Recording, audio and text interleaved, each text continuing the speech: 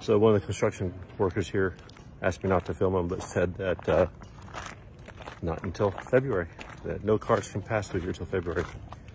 Conflicting information. Whatever it is, we'll have to figure it out. So, Rocky Point, this is a full border, and uh, nobody really knows what's going on.